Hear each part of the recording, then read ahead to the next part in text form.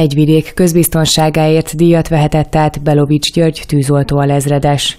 Többek között negyedszázados tűzoltói pályafutása, valamint a testnevelési egyetem oltása során végzett kiemelkedő munkájáért jutalmazták. A tűzoltó rendkívül nagy szépsége azt, hogy az embertársainkon segíthetünk, a kerület lakosainak az a anyagi javaiban, életünknek a védelmében közeműködhetünk. Rendkívül sok olyan káresetnél dolgozunk, ahol ott a lakosság megköszöni számunkra a segítséget. A másik idei díjazott egy fiatal rendőr, Rauch Péter. Rauch Péter elmondta, gyerekkora óta rendőr szeretne lenni. Eddigi pályája egyik nagy eredményének szolgálatirányító parancsnoki kinevezését tartja, és néhány jelentősebb elfogásban is részt vett a 12. kerületi rendőrkapitányság munkatársaként. Diósárok útnál volt tavaly egy gépkocsilopó, aki éppen az autót hekkelte meg a nála lévő technikával, úgyhogy mellé álltunk rendőrautóval, egyből ő megjött, kisebb birkózás után sikerült őt megbilincselni, illetve elfogni. Egy 2013-as önkormányzati rendelet értelmében hegyvidék közbiztonságáért díjat kaphatnak munkájuk elismeréséért rendőrök, polgárőrök, a katasztrófavédelem, valamint a közterület felügyelet munkatársai. Egy ilyen díj arra jó, hogy noha nem vagyunk a főnökei a tűzoltóknak, rendőröknek, de mégis egy kicsit erősebben kötődjenek az itt élőkhöz a hegyvidéki polgárokhoz. A hegyvidék közbiztonságáért díj jutalmazottjait hivatalos szervek és civilek javaslatai alapján választják ki.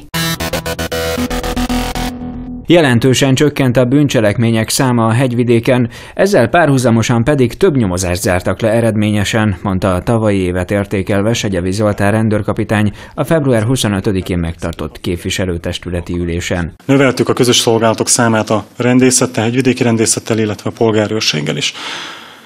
Kiemelt eredményként értékelem, hogy az előző évekhez viszonyítva jelentősen sikerült csökkenteni azt az időt, ami alatt a segítségkérő állampolgárnál akár egyenruhás vagy bűnügyes állomány megjelenik, és a 24 órán belül minden bűncselekmény helyszínén a bűnügyesek megjelentek, végrehajtották a szükséges intézkedést, és ott a helyszínen végrehajtották a tanúkihallgatásokat is. Dr. Váci János alpolgármester példaértékűnek nevezte a rendőrség és az önkormányzat közötti kapcsolatot. Több olyan közös programunk, közös dolgunk is van, amire én kifejezetten személy szerint büszke vagyok. Szerintem jól működik a rendőrjárőr szolgálatunk, jó az együttműködés a hegyvidéki rendészek és a hegyvidéki rendőrök között, a polgárőr csoportok között.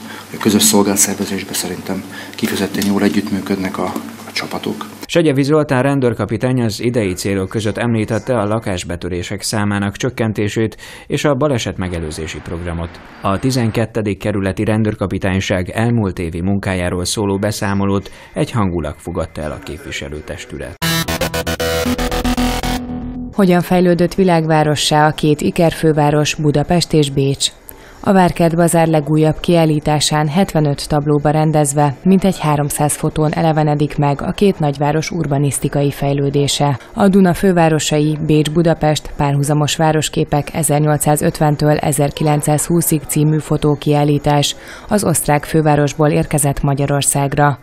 A kiállítás fővédnökei a két város polgármesterei. Közös folyónk a Duna, az a folyó, amely összeköt bennünket, hatással volt, és ma is hatással van a város szerkezetre, és ami mindkét városnak hasonló alaphangulatot teremt. Elsimon László államtitkár a kiállítás megnyitóján bejelentette, kormányzati forrásból felújítják az egyetlen olyan budapesti épületet, amelyet az osztrák építész Otto Wagner tervezett. A kormány támogatásával meg fog kezdődni a felújítása a Rumbak Sebestyén utcai zsinagógának, amelyet 1869 és 1872 között építettek föl, és amely egyetlen egy olyan egyébként csodálatos műemlék épületünk, amit Otto Wagner tervezett, amely egy közvetlen kapocs ilyen módon is a két város építészetek között. A Duna fővárosai című kiállítás május 29-ig látható a Várkert Bazár déli palotáiban.